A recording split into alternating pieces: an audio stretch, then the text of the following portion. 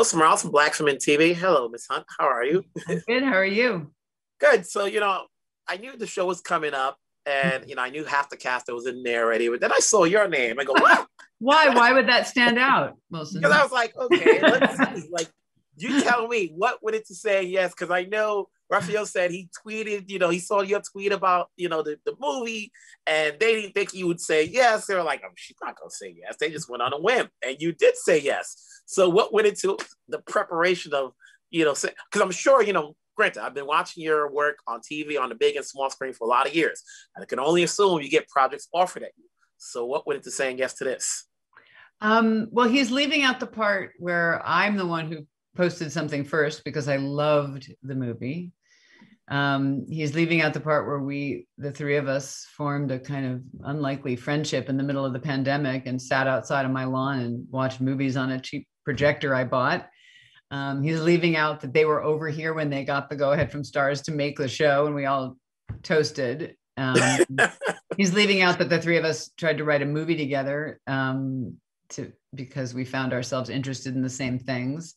And then he said, you know, I've, we've made these jokes about the series of Blindspotting and there being a part, and there actually is a part. And I take anything they would say, you know, if I have a friendship, first of all, and second of all, um, am moved by artists' work, I'm going to take it seriously if they say we're actually asking. And I thought I, what I read was great, and then and then we had a big conversation about what I would need to to feel comfortable doing it, especially during a pandemic. And um, more than any job I've had, everything they promised happened. I, I, you know, sometimes you before you say yes, you can ask for anything, and they'll pretty much say yes because they they want you to agree to be on the show. And then you get there, and it's not exactly what they told you would be there. And the, you know, and this is the opposite. Everything we uh, they promised me, they delivered on double. So it's been a pretty great experience. You saw the movie. You knew what the characters are about what did you want to make of Rainey, knowing they created this character for you? I mean, I wanted it to serve the story, you know, even more than looking for a good part. I look for a good story. And I thought Blindspotting was a beautifully told, wonderful story. And so I trusted what they were planning. and it sounded very smart to me that they were lifting it out of the two of them and putting it on a different corner of this mass incarceration story and that that she would be the center of it you know and so i tried to look at it from the from jasmine's character's point of view.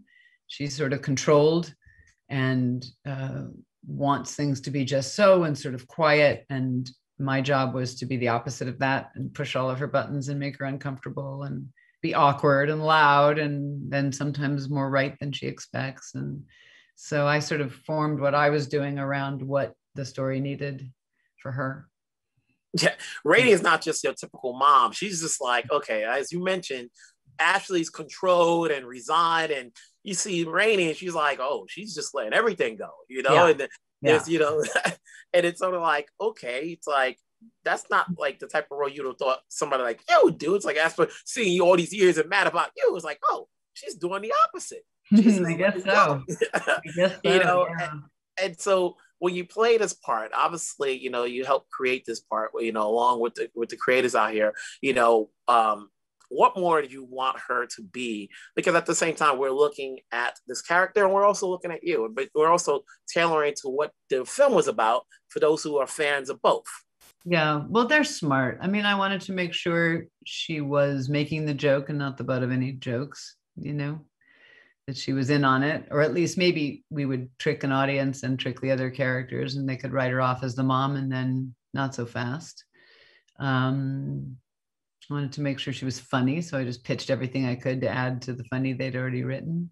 I wanted her to be surprising, um, so mm-hmm. they seemed into all that what's different being on this set? You know, you've worked between films and stage and TV.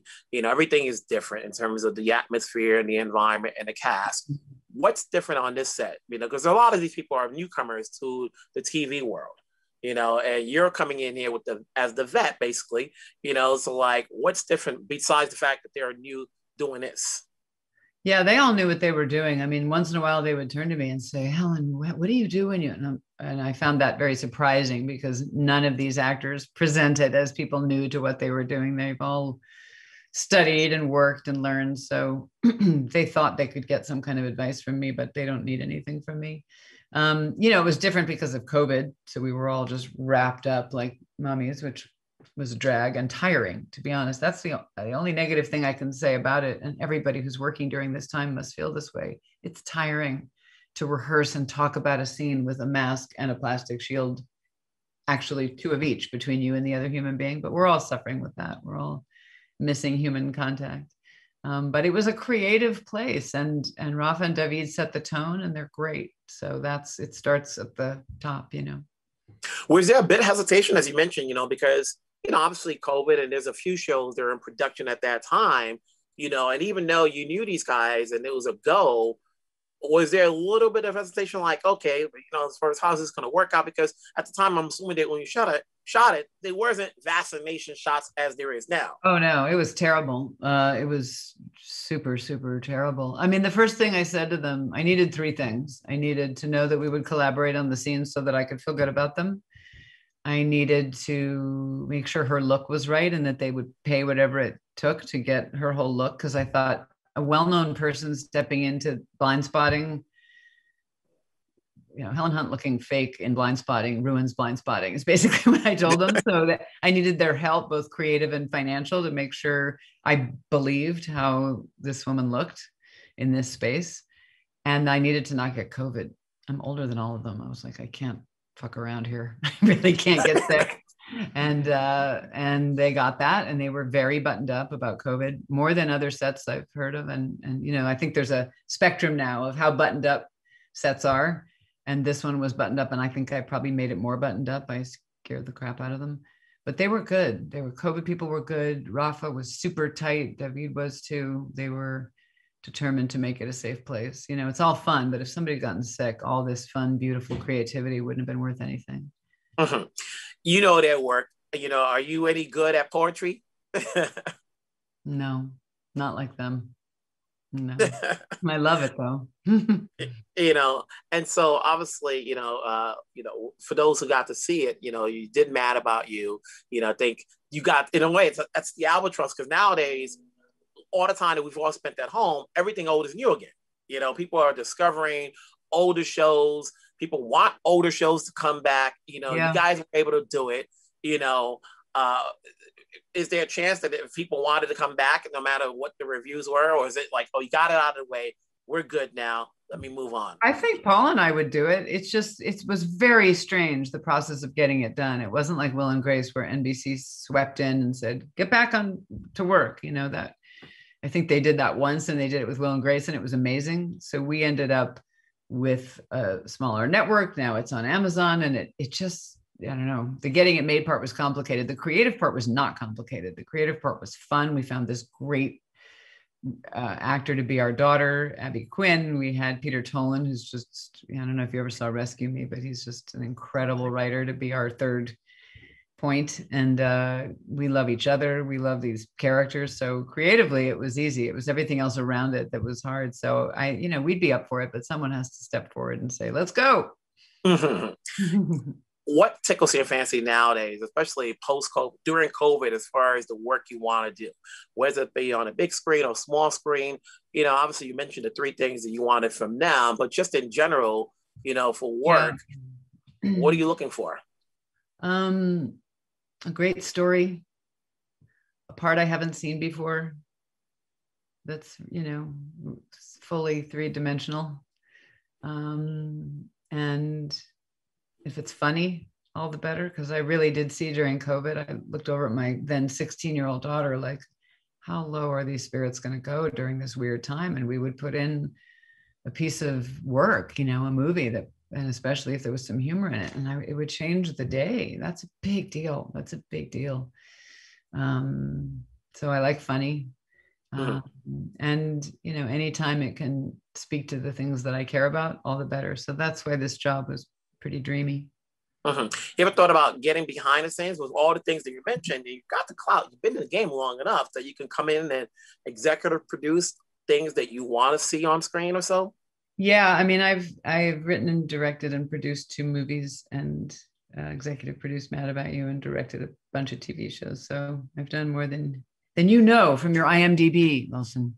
No, I'm gonna I'm gonna be the fan right now and tell you that one of the movies that I watched on VHS back in the day was Girls Just Want to Have Fun. I didn't make that movie, but I. No, you didn't make it, but you, you were in it. It was movie. like, that's the fan in me. I said, oh, let's get that out of the way. Sometimes well, you want to tell somebody the movies you've seen them in and stuff like that. Yeah. But, you know, uh, but coming back to Blindspotting, obviously, you know, for those who, who didn't see the movie, you know, do you believe one has to see the movie in order to get the show? Because even you though the show is based to. on Ashley. You don't have to, but you're stupid not to. That's my theory. Uh, you know, no, the show 100% stands on its own, but see that movie. See that movie. It'll make the show richer. Not that it needs to be, but it's a beautiful movie. Mm-hmm. You know, it's a it's a weekly show, which is great because not like all the episodes aren't going to air once. We can yeah, catch up. Got to come back. and it could come back over and over again. So you shot your scenes already, so it's not like network. We gotta still keep working. Where do we see you next in after this? Beats me. I'm writing something with a writing partner for a long time. That could be another show um, if it gets if it finally gets its big green light. Um, and I don't know. Get me a job, man. Don't sit there. you're gonna always continue to work. I think you know, as you mentioned, through your IMDb, anybody can look at any given channel and be like, "Oh, she's in this. So there's never a shortage of, a shortage of work, you know. No, well, there's never a shortage of work you've done, but any actor will tell you, except for maybe a moment or two in their career, you're always back to like, hope I get a job. It's just I've heard Meryl Streep say it. You know, I, it's it's it's a journeyman business where you do your you come in with your brushes and you hope you sell them, and then you do your best work, and then you go to your next job. So that part never changes. You know, it's been fun talking to you. Obviously, uh, that people will get a kick of watching your character. You know, especially in that first episode. You know, it's like, oh, she's game. She's game. Yeah, I am nothing if not game in this show.